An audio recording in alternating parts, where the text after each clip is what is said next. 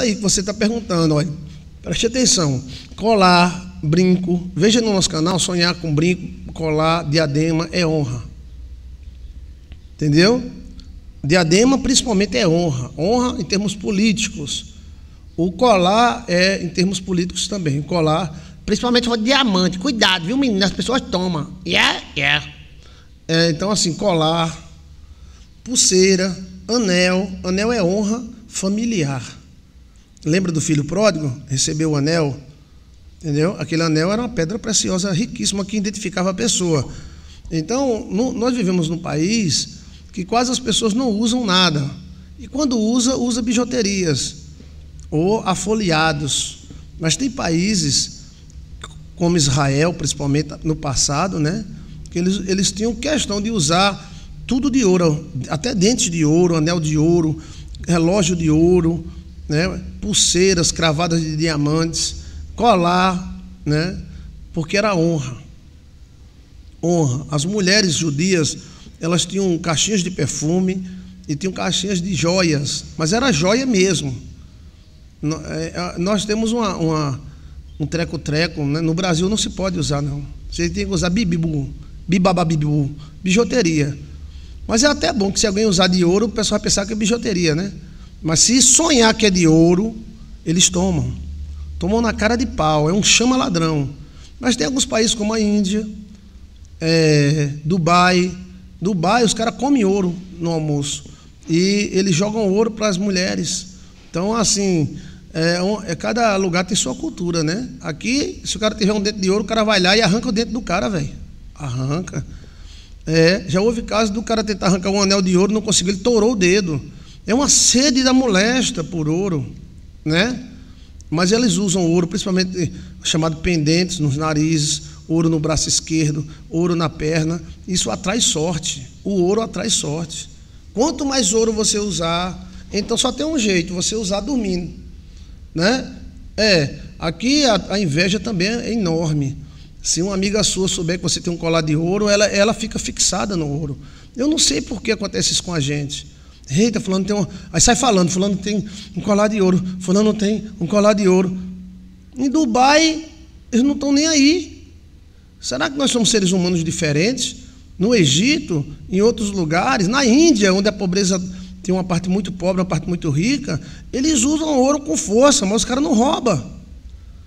Não é, não é valor financeiro, é o valor é, espiritual. O ouro tem valor espiritual. Os índios não usavam ouro como dinheiro. Os índios usavam ouro como para atrair energias. O ouro atrai coisas boas. Onde é que tio Patinhas morava? Onde é que tio Patinhas dormia? Onde é que tio Patinhas tomava banho? No forte dele, cheio de dinheiro e cheio de ouro. Mas se você botar uh, um dinheirinho debaixo da cama, um ouro debaixo da cama, os caras vão levar. É. O ouro, aqui, principalmente na nossa, na nossa geração, desperta uma ganância muito grande. É. Mas quem tem energia sabe que o ouro atrai dinheiro. Era para a gente usar dentes de ouro, pendente de ouro, brinco de ouro, ouro de verdade mesmo. Entendeu? Em Dubai se come ouro. Então, o ouro atrai energias boas de todo tipo. Aí que o cara fica mais rico, mais rico, mais rico. Mas aqui é o seguinte: se o cara desconfiar, até as alianças hoje são banhadas de ouro e tem que ser frouxa, porque se os caras vierem tomar, ele tira a aliança, tira a aliança. Se a aliança não sair, ele tora o dedo do cara. É, são muito violentos além de assaltar, são muito violentos. Então, que Deus tenha misericórdia de nós e mude a nossa cultura. Mas o ouro atrai as coisas boas. Na época da minha bisavó, tinha até ouro, tinha platileira de ouro, por isso que o nome, prateleira, de prata. Era prata, ouro, bronze, muito pouco, prata, ouro, era, era prata e ouro, colher de prata, colher de ouro. Eu queria ter uma colher de ouro, tá? Mas não tem, eu tenho uma colher de da, da madeira acácia que eu ganhei lá em São Leopoldo. Eu tenho prata de acácia, tenho um chapéu dourado. Aqui é chapéu de ouro, tá vendo? Para atrair energia. Esse chapéu atrai muita boa energia. Né? É, então, assim, é, mas era bom a pessoa ter um ouro e dormir em cima do ouro. o cara do tio Patinhas está dando a dica para todo mundo. Entendeu? É. O fim de tudo chegará e as coisas simples nos aproxima de Deus. Sim, mas os judeus eram cheios de Deus e cheios de ouro. O judeu adora ouro. É. O quê? Judeus tinham ouro demais. A, a minha bisavó recebia caneca de ouro. Era, porque minha bisavó casou com um siciliano. Aí o meu bisavô, é, o pai de, dela cancelou né, a, a, a, etnia judia, deserdou ela. É, aí ela ficou lascada, porque o cara também não era froxicheire. E aí ela ficou lascada, mas de vez em quando minha, a mãe dela dava uma colher de ouro, aí o cara pegava, derretia e vendia, dava uma caneca de ouro. Antigamente era muito isso. E hoje, tudei agora, a mulher ligou para mim e disse: Pastor, minha irmã disse que meu marido é, é um miserável. Eu digo: É. É porque ele tem prateleira de ouro, tem ouro, na, ouro aqui, prata, prata, é, prateleira cheia de ouro e não dá para gente. Eu digo: Você acha que alemão vai fazer que nem brasileiro? É o que tem diz, o que tem dá? Quem dá muito perde tudo, dá dói. Você tem que dar, mas não dá, não dá tudo, não, tá? Por favor. É. Aí eu disse: E sua irmã é casada com quem? Aí ela falou: Com gigolô. Eu disse: Pronto, está explicado. Então, gigolô para ela presta. O alemão lá não precisava de ninguém, não, mas não abria mão da prateleira de ouro dele. Deus diz: Eu sou o dono do ouro e da prata. Se eu não tenho ouro, se eu não tenho prata, tudo bem, velho. Mas a gente não pode negar que a Bíblia, Deus diz que eu sou o dono do ouro e da prata, o teto da igreja de judeus era de ouro puro. O céu vai ter mais ouro do que aqui na terra. Não é para vender nem comprar, não. É a energia do ouro. Veja aí, energia do ouro, Joilson de Assis. Está entendendo? É. Coisas simples. Amém. São ótimas. A felicidade é simples. É ótima. A gente vive do jeito que a gente pode. Mas eu não estou falando isso. Eu estou falando que o ouro atrai ouro. Está entendendo? É muito difícil um noiado, uma pessoa muito pobre ter ouro. Não é porque se, é, porque se tiver, ele gasta. Mas se ele guardar, vem mais. O ouro tem um mistério muito grande, muito grande. Não é à toa que muitos líderes guardam ouro em alguns lugares. E as nações que mais têm ouro, mais ouro aparece. Tem nação dando aí colar, dando colar de bilhões, de milhões. Dá porque pode dar.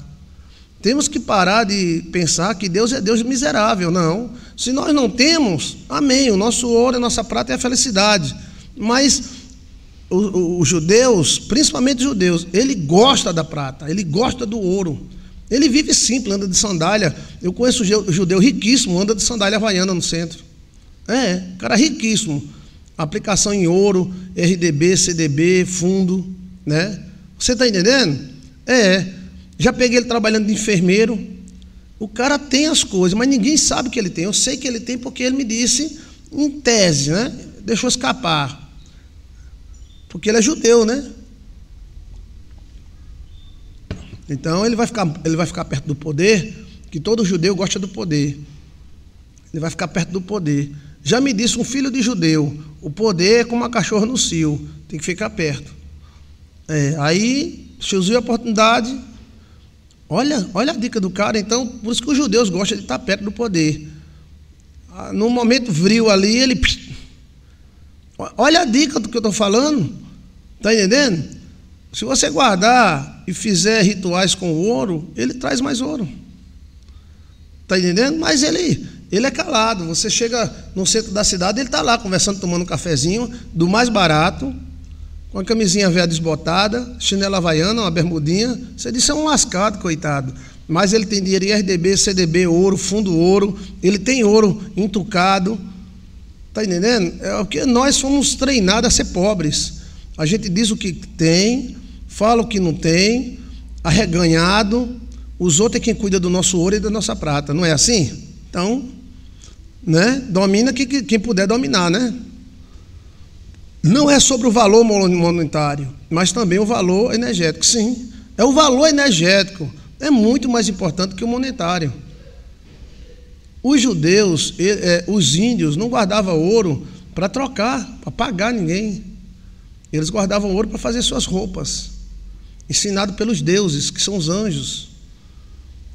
Na roupa, para você ver, Deus não é tão simples, né? Deus é simples, irmão. Ai, eu queria ter ouro, sabe? Mas olha bem, a roupa do, do sacerdote era costurada a ouro, velho.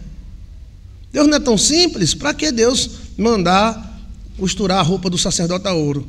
Ostenta, ostentação é bobagem. Sim, ostentação é uma leseira. Sabe o que é uma leseira? É. O pessoal que gosta de ostentar, vê a origem deles. Vê a origem do, daquele cara que gosta de ostentar, porque tem uma cultura de ostentação, muita mulher, muito ouro, muita prata, não tem problema, cada pessoa faz o que quer, mas o judeu é diferente. Se o judeu tiver 10 quilos de ouro, ele entuca, ele guarda, ele faz ritual, ele ora, ele busca, e aí ele vai crescendo. Se a gente, às vezes a gente quer ter o que não, o que não pode. A gente quer ter uma, uma coisa muito maior do que aquilo que a gente não pode. A gente se preocupa com jardim, o judeu se preocupa com poço. Está entendendo? Quanto mais tem, mais esconde. Quanto mais tem, mais eles escondem. Um dos segredos dos judeus é esse. Agora chega uma hora que ele tem tanto que não dá para guardar. Aí ele ostenta. Né? Deve ter muito mistério na colonização. Ah, sim, a colonização, né? É. Ó, você tendo que vestir, o que comer, né? Não precisa mais do que isso, não. Agora, se você não pode esconder, então vai usar né, o que você tem. Agora tudo mudou, porque a gente já está no tempo do fim, mas os judeus eles são especialistas em finanças. O povo que domina a terra chama-se judeu, financeiramente, né? Quem era o homem mais sabido do mundo? Salomão. E quem era o homem que tinha mais ouro no mundo? Salomão. Salomão não era do Senhor? Porque Salomão não ficou pobre, dependendo de uma cesta baca. Hã? Então, Salomão era o homem mais rico do mundo, mas a Bíblia não fala que ele tinha mais dinheiro, fala que ele tinha mais ouro. Por que esse ouro? Ele vinha buscar aqui na Amazônia. Salomão vinha buscar ouro aqui na Amazônia. É, ele cruzou muito esse rio Salomão. Inclusive, esse nome Rio Salomão vem dele, né? É o ouro de Ofir. Então, eles são especialistas em ganhar dinheiro. Veja o grande Silvio Santos. Talento, poder, capacidade. Judeu, né? Quando eu cito o nome, eu cito positivamente, porque eu admiro Silvio Santos. Eu não conheci, mas eu queria muito conhecer o dono do, do Banco Safra. Um dos motivos do Brasil ser o maior país do mundo em agricultura é do Banco Safra. O Banco Safra levantou o Brasil. E quem era o dono do Banco Safra? Juju, Dedeu. Você está entendendo? A gente tem que aprender com esse povo. Porque a, a, a, pessoa diz que o ouro não é importante, depois fica sem dinheiro para pagar a luz, e o cara cortando a luz. E o cara não, o importante é Jesus. O importante é Jesus. E o cara vai cortar a luz, tem dinheiro para pagar? Tem não. Sim, eles cortam a luz com o cara dentro. Sim. É terrível. O cara tem bebê, tem tudo, a ver atrasou o papel. Eles cortam, velho. Corta com bebê, corta com tudo. Depois você vê isso aí. É. Então, é Joseph Safra, é. O Banco Safra, ele é um grande responsável. Eu não tenho nenhum contato com o Banco Safra. Eu, eu tenho apenas admiração porque o cara lá era judeu e era faca na caveira, era forte, né? E ele caladinho, ele financiava as, as, é, as safras do Brasil. E assim o Brasil foi, foi, foi, foi, foi, foi, foi se levantando, né? Então, a gente tem que aprender com esse povo. Porque é um povo de 6, 8 mil anos. A gente não tem nem 200 anos de Brasil. A gente tem 500 anos de colonização, 200 anos de Brasil. Está entendendo? Parece até que os brasileiros não são brasileiros. A gente vê líderes brasileiros se comportando como se fosse de outro país. Sim, você pode olhar para alguns políticos brasileiros, eles parecem que não são brasileiros. Eles não estão nem aí para o Brasil. Parece que eles são agentes estrangeiros. A culpa é nossa, né? Mas glória a Deus aos judeus do Brasil, glória a Deus a, a esses homens, que eles são muito sábios. Eu queria ter muita sabedoria judia. Porque tem vários tipos de judeu, tá? Não é um só, não. Mas é, o DNA deles é muito forte, que foi Deus que mexeu no DNA deles. Então eles chegam puxando uma cachorra, não dá 20 anos, meu amigo, para eles estarem entre os nobres. Tá entendendo? É. O cara é neto de judeu. Eu conversando com ele, e ele estava ao redor do poder. Eu digo, mas rapaz, esse cara que tu segue, ele é muito chato. Que ele é, o, o, o cara que ele trabalhava era muito exigente. Se ele errasse uma vírgula, errasse qualquer coisa, o cara é perfeccionista. E ele gritava, faça direito, rapaz, tal. É, e ele tá certo, tá certo, ele tem mulher, filhos, né? Aí eu disse, mas rapaz, tá aguentando muita coisa desse político, né? Aí ele disse, ó, o poder é como uma cachorra. Olha o exemplo desse cara, eu nunca esqueci disso. Você tem que ficar perto. Quando ela entrar no cio, os cachorros grandes vão brigar, brigar, brigar, mas se é, é, é, os cachorros grandes não, não conseguir ou vacilar, entra os pequenos. Então eu entro. Então o poder é como uma cachorra, ela vai, ela vai entrar no cio. É só você esperar a lua certa. E não deu certo na vida dele? Deu certo, que o cara era chato que só molesta. Eu não sabia como é que ele aguentava, não. Né? É, mas na hora que abriu a oportunidade, ele chilip, chilip, chilip, bah! Então a filosofia dele colou. Ele saiu da comunidade e foi morar em Brasília. Olha, olha, peguei essa, sim. O cara, é, ele falou para mim, é, o poder é como uma cachorra. Ele entra no cio de vez em quando. Então os cachorros brigam, né? Cachorro briga, blá, blá, blá, né? mas a ver os cachorros ficam brigando e o cachorrinho velho pequeno, enquanto eles estão brigando, o cachorrinho velho pequeno, lápis, lápis, lápis, lápis, blá, blá, blá, pronto, reproduziu. Aí ele falou para mim, é como uma cachorra, ela vai entrar no cio, poder vai entrar no cio. Quando poder entrar no cio, eu estou aqui. Mas foi na cabeça, velho, na cabeça, pá, não, no alvo. Deu certo morou em Brasília, tili, tili, tili, pá, é. Eu digo, eita, cachorro vacilou, tu pegou, não foi? Ele é, os cachorrão vacilou, porque os cachorrão ficam brigando, é minha, minha. Aí começa, começa a brigar. Aí ele vai brigar, vai, bestalhado, vem cá, chega, cachorro, au, au, au, au. É. Meu marido vive no cio, pastor, que bom, agradeça a Deus. Agradeça a Deus, né? Marido no cio hoje é uma rara, peça rara, né? É. Então, sonhar com brincos, essa, é bom. Agora, sonhar com bijuteria está ligado à frieza, falsidade, a coisas que parece ter valor e não é. Está entendendo? Ok? Está bem respondido? Ok?